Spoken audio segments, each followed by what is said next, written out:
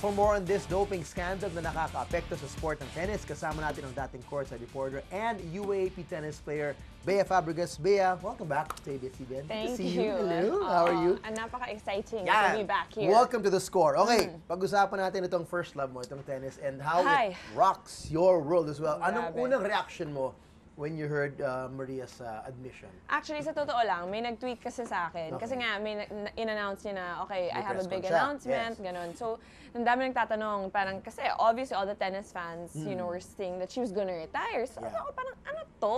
Like, I doubt she's gonna retire.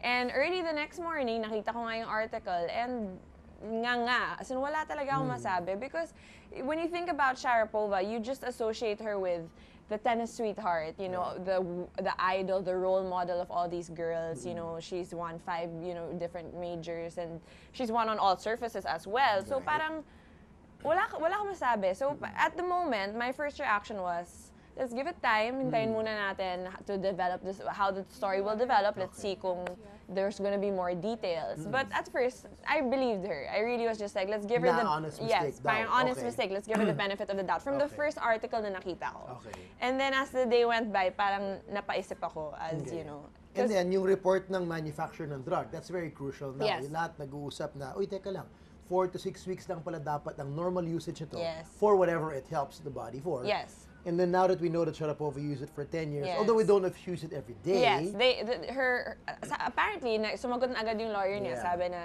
you know what, I we don't want the public to think na araw-araw niya ito ginagamit. So Yeah. I think she used it as needed, you know, Okay. per you know, whenever she needed it. Pero nakakataka pa rin. Like 2006, I mean, ang tagal-tagal na nun. She won her first Grand Slam in 2004. Right. So that's basically buong career niya, TJ. So Yep. parang you're, magsa-speculate ka talaga. Correct, correct. Even if you're a fan, even if diehard ka na parang, hindi, hindi maaari to, hindi niya Okay. magagawa to, you really start to think. Okay, now for other athletes that have been caught uh, doping, uh, like even like a Lance Armstrong Yes. and others, there have always been suspicion na, grabe naman lakas ito, tao ba yan? Yeah. Was there ever a point that Maria was like that na even na konting pagdududahan mo siya na, kaya ba ng tao yan? Actually, you know, sa totoo lang, nakakagulat siya kasi Sharapova has had injuries. Okay. Diba, she's had her shoulder injury, she's been out a couple of Ah. times. There was even, I'm, I'm not sure kung anong year yun, mga 2008. Ang sama talaga ng laro niya. She would, Hmm. Okay. she would lose sa first round. So,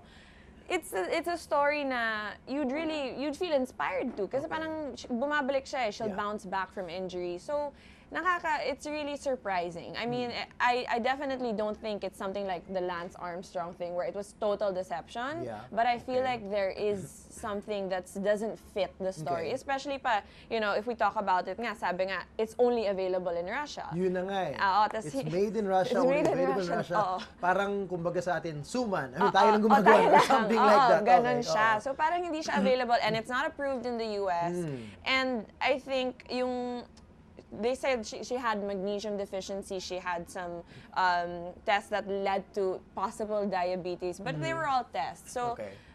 I guess we're in the dark about a lot of details. Pero yun nga, parang magdududa ka talaga. TJ. Okay, from uh, what you've observed, of course, of course, we've heard Jennifer Capriati, Yeah. we've heard Serena, from other, you know, tennis people, from the local tennis Mm. your friends, former tennis players, anong sentiment ninyo lahat? Anong anong nababasa mo sa reactions? Ah, devastation, Okay. basically. Pero I think, ang gusto talaga nila, they want her to bounce back. Because I really think that Sharapova, sweetheart talaga siya. At saka idol, idol talaga yan ng lahat ng mga bata. Like, when it comes to her game, ginagaya yan. Like, alam mo yun, the way she plays, her form, her outfits. It, she's just, she's just a, a representation of women's tennis, you know, aside from, it's either Serena ka or Sharapova, kahit lagi siyang natatalo kay Sher- Right, Serena. But, right. you know what I mean? So I think everybody wants her to bounce back. Mm-hmm. But, I mean, I'm thinking about how long she'll be out, kasi hindi pa natin alam, di ba? Yun na nga, it could be two years, could, Could be be four, four years. years. Uh, Kung four years, makakabalik pa kaya siya? Sa tingin ko, How old is she? She's, she's 28. 28. She's 28. She'll be 32 by then. I was just thinking, kasi nga, iniisip ko nga, meron na namang nawala, tapos bumalik eh. Do you Na rem- ganun katagal? uh, not, two years, naalala niyo si Kim Clijsters. Yes! Kim Clijsters Okay. retired in 2007, ano bumalik. siya nanganak? Yeah, she had a child. Oh, bumalik siya 2009, tapos nanalo siya ng three Grand Slams after that, after retirement. So, two years, So parang pwede pa. two years, pwede Okay. pa, but she was 26. She was 26. So, 28. She came back at 26? She came back at 26. Okay, So, that's so a different story from 32. layo eh, ang I know, talaga. I'm, you know, I'm in the latter part of my 30s, so I know the difference of Yeah. 26 and 32. Oo. Very different. And to say, like, and in the tennis world, like, it's not like, I, I mean, at, let's say basketball, kay, that's very, ano pa eh, that's okay pa yun eh. But 30 in the tennis world, I guess it's because it's, you're also alone on the court, it's an individual sport. It takes a different toll on your body. Like Correct. Federer, Federer is 34. Right. Lolo na yan. So, Correct. ko- Kumbaga in dog years, ah, baka 50 something. Lolo no, na si because Fed. put it in context, Bea, how old did they start playing very competitive tennis? Um, in the early well, teens, di ba? Sharapova has been competing since she was like 11. Kaya nga eh. Her And that's very, relationship. kumbaga parang pro na siya noon. Although hindi siya Exactly. pro noon, pero parang she pro na started when buhay she was niya. four, TJ. Oh, see? Four, exactly. That's playing the sport. If you play, like ako, nagsimula ako eight years old. Oo. Sobrang late na nun. As in, yun- Late ka na. late na nun, eight Eight, years ah, old, exactly. So kasi by that time, kailangan nagko-compete ka na Correct, sa 10 and correct. under. Yes, kailangan yes. tinatalo mo na yung buong Right, mundo by right, then. So, you know, 28, you've been playing it for a long, long time. So Okay. I think, I mean, if nothing is impossible. She's a champion, Mm-hmm. you know, to bounce back. But definitely, think about her. She won her Grand Slam when she was 17. Yeah. So when she's 32, there's gonna be some new kid na 17 years old na hindi mo kilala, tapos Mm-hmm. Correct. biglang rising star na. Correct. So feel ko yun yung, yung malabo dito eh. Four years would be very long. Two Okay. years, sige, pagbigyan pa So, natin. the, the, the playing competitively at that high level, at, you know, after two or four year ban is one thing. Another thing is, ano na yung magiging persona niya? Ano na yung magiging public perception Yun- niya? yun Who nga. will Sharapova be at that time na found guilty, Yeah. punished, and then will you still bounce back as Yeah. the icon of tennis? Yun nga eh. I think, I think people, like let's say if she is, because ano yun eh, they're waiting if she really, if she really used it Okay. to to enhance her, you know, her performance. Yun yung hinihintay natin eh. Parang kung hindi niya talaga alam, Yeah. let's see how the sentence will be. Pero kung alam niya, four years yun or more, di ba? Right. So, I'm thinking she could be forgiven. Mm-hmm. Like, because, you know, we, we forgive naman. It's fine. You can give a person a second chance.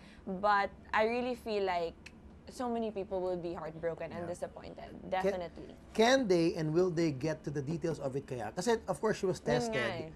And that was just to prove that she took it shortly before, arguably, before the Yes. Australian Open, Opo. which was January this year. Yes.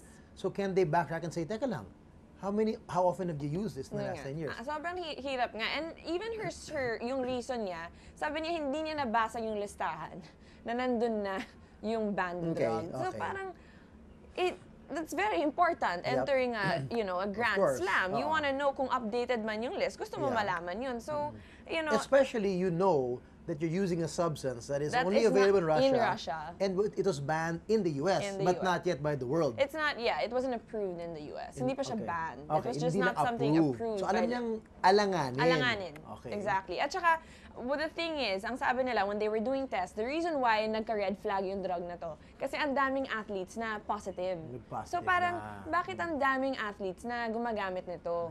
So that's, So she might fall under the same Yeah, category people as those who have abused it. Oo, kasi may, ano, may recovery siya, it gives you oxygen, and it, I don't think it makes you stronger. I think it just helps with the recovery process. Tas yung, you know, Which the- still matters a lot oh, oh, for so, so professional much. athletes. Definitely, Okay. definitely. Fearless forecast. Anong gut feel mo? Anong, how do you feel about, now that you know a little bit more details, where do you stand right now on, on Maria?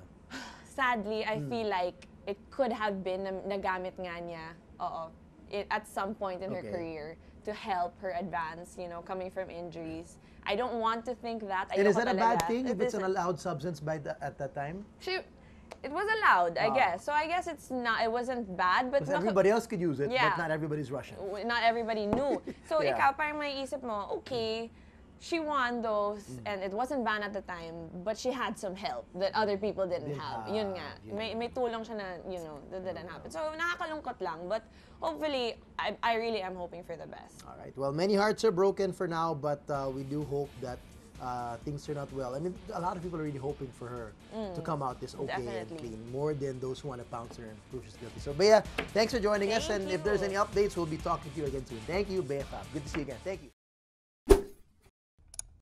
For more sports updates, keep watching The Score and don't forget to subscribe.